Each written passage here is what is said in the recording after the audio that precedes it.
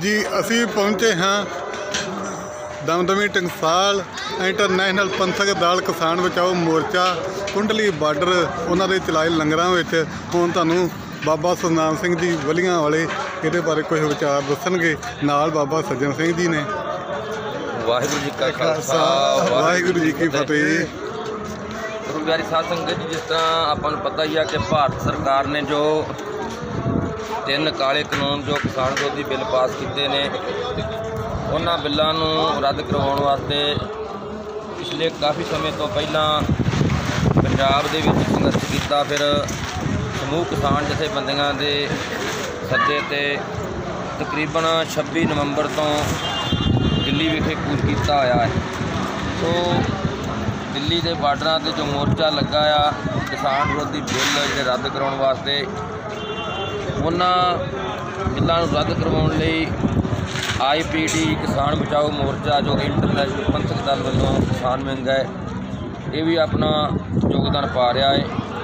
ਸੋ ਇਸੇ ਲੜੀ ਤਹਿਤ ਇੰਟਰਨੈਸ਼ਨਲ ਪੰਥਕ ਦਲ ਸਿੰਘ ਸਾਹਿਬ, ਭਾਈ ਜਸਵੀਰ ਸਿੰਘ ਜੀ ਖਾਲਸਾ, ਜਥੇਦਾਰ ਸ੍ਰੀ ਅਕਾਲ ਤਖਤ ਸਾਹਿਬ ਔਰ ਬਾਨੀ ਇੰਟਰਨੈਸ਼ਨਲ ਪੰਥਕ ਦਲ ਵੱਲੋਂ ਸਮੂਹ ਜਥੇਬੰਦੀ, ਦੇਸ਼ ਵਿਦੇਸ਼ ਦੀ ਸੰਸਥਾ ਸਹਿਯੋਗ ਦੇ ਨਾਲ ਸੇਵਾਵਾਂ ਨਿਭਾਈਆਂ ਜਾ ਰਹੀਆਂ ਨੇ।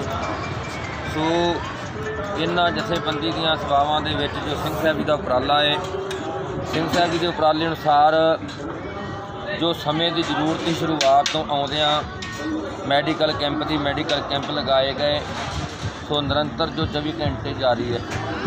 ਇਸ ਤੋਂ ਉਪਰੰਤ ਦੇਸ਼ ਵਿਦੇਸ਼ ਦੀਆਂ ਸੰਗਤਾਂ ਦੇ ਸਹਿਯੋਗ ਦੇ ਨਾਲ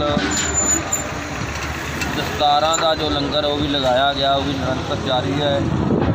ਇਸੇ ਤਰ੍ਹਾਂ ਸੰਗਤਾਂ ਦੇ ਰਹਿਣ ਬਸੇਰੇ ਲਈ ਕਿਉਂਕਿ ਕੁਝ ਵੀਰ ਠੰਡ ਦਾ ਮੌਸਮ ਸੀ, ਜਦੋਂ ਠੰਡ ਦੇ ਮੌਸਮ ਨੂੰ ਵੇਖਦੇ ਆ ਟਰਾਲੀਆਂ ਦੇ ਥੱਲੇ ਸੌਂਦੇ ਸੀ ਅਤੇ ਕੁਝ ਸੰਗਤਾਂ ਜਿਹੜੀਆਂ ਪਿੱਛੋਂ ਟ੍ਰੇਨਾਂ ਤੇ ਆਉਂਦੀਆਂ ਸੀ ਉਹਨਾਂ ਦੇ ਰਹਿਣ ਬਸੇਰੇ ਵਾਸਤੇ ਇੱਕ 250 ਕਿੱਲੇ ਦਾ ਰਹਿਣ ਬਸੇਰਾ ਬਣਾਇਆ ਗਿਆ।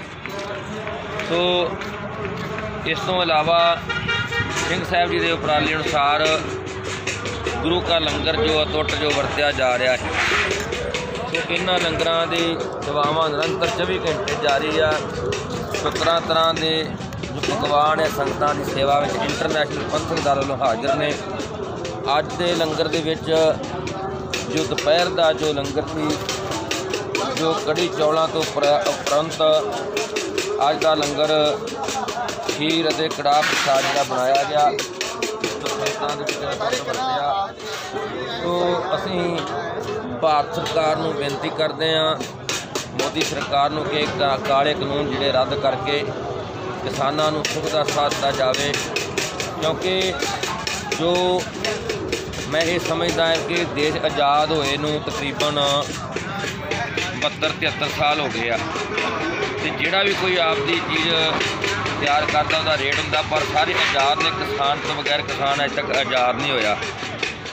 ਕਿਉਂਕਿ ਜਿਹੜੀ ਵੀ ਕੋਈ ਚੀਜ਼ ਆਪਦੀ ਤਿਆਰ ਕਰਦਾ, ਉਹਦਾ ਆਪਣਾ ਰੇਟ ਹੁੰਦਾ ਆ, ਪਰ ਕਿਸਾਨ ਰਾਤ ਦਿਨ ਮਿਹਨਤ ਕਰਕੇ ਸੱਪਾਂ ਦੀਆਂ ਸਰੀਆਂ ਮਿੱਧ ਕੇ ਫਸਲ ਤਿਆਰ ਕਰਦਾ ਆ। ਜਦੋਂ ਮੰਡੀ ਵਿੱਚ ਫਸਲ ਜਿਹੜੀ ਲਿਆਂਦੀ ਗਈ ਉਹਦਾ ਰੇਟ ਕੋਈ ਹੋਰ ਆਣ ਕੇ ਵਪਾਰੀ ਜਿਹੜੇ, ਉਹਦਾ ਰੇਟ ਆਪਦੀ ਮਨਮਰਜ਼ੀ ਨਾਲ ਲਾਉਂਦੇ ਨੇ।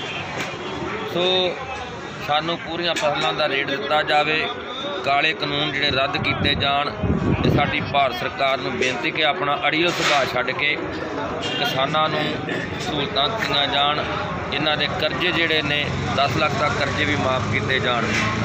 ਇਹਨਾਂ ਬੇਨਤੀਆਂ ਦੇ ਨਾਲ ਮੈਂ ਬਹੁਤ ਧੰਨਵਾਦੀ ਹਾਂ।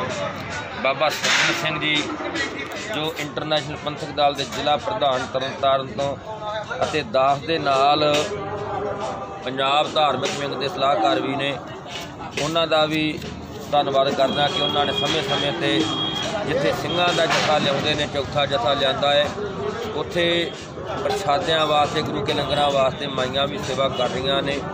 ਮਾਈਆਂ ਦੀ ਜਿਹੜੀ ਜਥਾ ਆ, ਉਹ ਵੀ ਤਕਰੀਬਨ ਉਹ ਲੈ ਕੇ ਆਉਂਦੇ ਨੇ। ਇਸੇ ਤਰ੍ਹਾਂ ਆਪਣਾ ਪੁਰਾਣਾ ਲੰਗੇ ਆਣਾ ਉਹਨਾਂ ਦੇ ਵੀ ਜਥੇ ਜਿਹੜੇ ਨਿਰੰਤਰ ਜਾਰੀ ਨੇ, ਨਗਰ ਰੋਡੇ ਤੋਂ ਸੰਤ ਜਰਨੈਲ ਸਿੰਘ ਖਾਲਸਾ ਪਿੰਡਾਂ ਵਾਲੇ ਉਹਨਾਂ ਦੇ ਸਥਾਨ ਤੋਂ ਵੀ ਸੰਗਤਾਂ ਆਉਂਦੀਆਂ ਨੇ। ਮੈਂ ਸਾਰੀਆਂ ਸੰਗਤਾਂ ਦਾ ਜਥੇਬੰਦੀ ਵੱਲੋਂ ਤਹਿ ਦਿਲੋਂ ਧੰਨਵਾਦੀ ਹਾਂ। ਵਾਹਿਗੁਰੂ ਜੀ ਕਾ ਖਾਲਸਾ, ਵਾਹਿਗੁਰੂ ਜੀ ਕੀ ਫਤਿਹ।